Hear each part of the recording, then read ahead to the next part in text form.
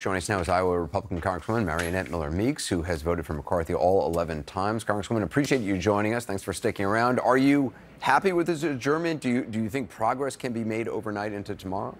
I think the fact that we got 219 votes to adjourn, I know that seems like a, you know, a farcical thing, but that's a small victory. Uh, and yes, I think that uh, we're going to continue this process.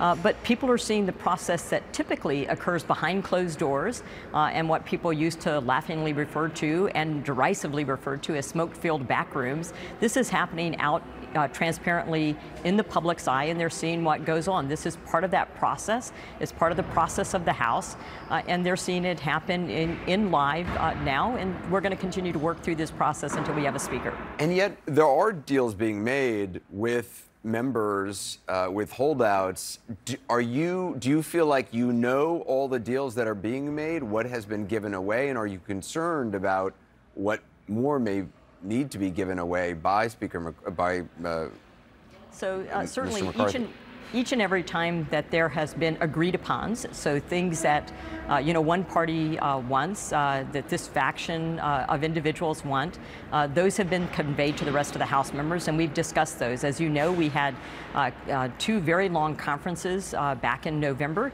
then we've also had conference by phone, and so this has been relayed to us. This give and take. I, I think what most of us would prefer was that all of us had have been done in writing and presented, so we could have discussed it all all, debated it all, and then gone through that orderly process that we did during uh, the two conferences that we had, at which time we discussed numerous amendments, went through each and every one of them. Uh, every member uh, had a chance to get up and speak, to debate them, to, uh, to uh, relay their concerns, relay what uh, constitutionally had been done before in the past, and whether something was in alignment with the Constitution. So that deliberative process is taking place, it is ongoing, and members are being informed on what's transpiring uh, through that. So it has been a transparent process as we go forward. Are you concerned at all about what has been negotiated thus far? Uh, even as somebody who supports uh, Kevin McCarthy to become Speaker, are you worried about the the power of others to to challenge him down the road? I'm not concerned about the power to challenge others. I mean, we did take a vote on that uh, in the entire uh, conference uh, membership, uh, that we thought that the motion to vacate should not be at one, it should be at a larger number, and actually that, you know, we should have consistency across, because you have different rules that it's so many uh, members for, for a certain type of rule or to, uh, to do a certain type of motion, um, and so that there should be consistency among the rules and how many members it takes to uh, change something. Uh, however, uh, Kevin McCarthy met with members. Uh, the number was dropped to five. Uh, we were that was conveyed to us. We, uh, you know, as members agreed that uh, that would be okay. Uh, we don't see that it weakens the speakership or uh, Kevin McCarthy.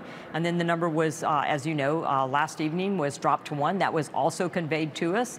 so we're all parts of different caucuses that have met with the with the leader, either the leadership of our caucus or members of the caucus itself, that have met with, um, you know, Leader McCarthy and have discussed this. And to this point I mean, there are budgetary things that have been put in place or will be put in place into the House conference rules that the majority of us uh, agree with, and we're not concerned with those.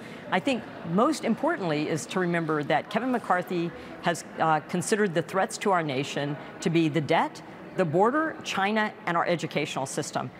Every single person in our conference agrees with that, even the people who are not supporting Kevin McCarthy. And most importantly, we were elected because the country felt that we were on the wrong track.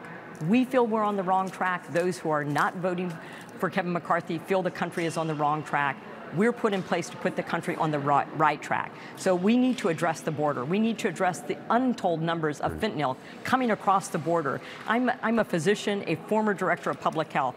As you know, last year the CDC said there was 107,000 drug overdoses that led to the death of young people, 18 to 45. Those young people weren't killed by COVID, they were killed by drug overdoses. So we know we need to address the border. Right. We know we need but, to but none of that, none, uh, But excuse system. me for interrupting, but none of that will get done until there is a, a speaker and th there is no end in sight at this point. What gives you confidence that at least five or possibly more hard no votes uh, can be moved so that the math goes in favor of Mr. McCarthy? Well, certainly the numbers of no's for McCarthy haven't increased. If you'll notice, the trend line has stayed the same. We have all stayed uh, very stalwart in our positions, both for McCarthy and those not. But then this evening, Last evening, we had uh, a challenge in getting to uh, the numbers uh, to uh, adjourn. Tonight, we got to 219 to adjourn. We know that there's uh, progress being made. So I think what's most important is that we're patient. You know, no good thing comes without failure. I can tell you in my life, being the fourth of eight kids, no one in my family ever having gone to college, if I would have given up at the first no, I would never have become a doctor. First one in my family to go to college, first one to get a degree, first one to go to medical school, the only doctor in my family. I'm a member of Congress, one of 11,000 people in our history. So we know throughout our history we've had challenges, we've had obstacles. We rise to that occasion. We will get through this. We will use patience. Uh, we'll have understanding, and we'll try to meet the needs of all of those in the Republican conference so that we can get to the job of helping the Americans with inflation, helping them with the border, helping with the opioid crisis. You've also had an incredible career in the U.S. military, uh, and I thank you for your service, and I appreciate you uh, continuing that service. Thanks so much for speaking with us. Thank you.